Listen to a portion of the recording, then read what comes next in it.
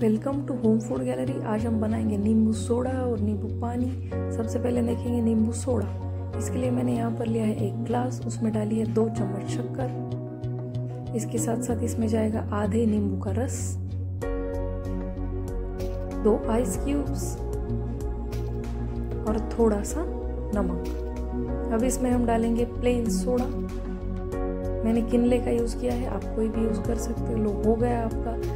Lemon soda तैयार है, एकदम फ्रेश रिफ्रेशिंग इसे थोड़ा सा हिलाना है, इसमें जो शक्कर है, उसका टेस्ट और नींबू का टेस्ट बहुत बढ़िया लगता है.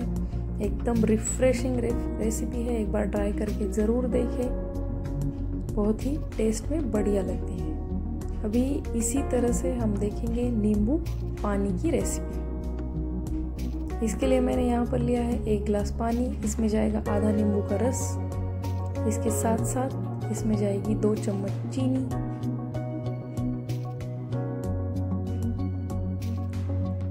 और थोड़ा सा नमक। इसे हम थोड़ा सा फ्लेवर वाला बनाएँगे, इसके लिए मैंने यहाँ पे ली है आधा चम्मच सौफ।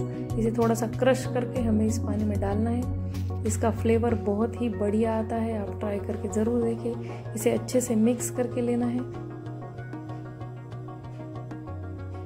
ताकि सौफ का फ्लेवर थोड़ा सा पानी में उतर जाए। अब लिया है मैंने एक गिलास, इसमें जाएँगे आइस क्यूब्स और ये जो पानी है, इसे छान कर हमें ग्लास में डाल देना है। बस हो गया हमारा ऑथेंटिक नींबू पानी तैयार।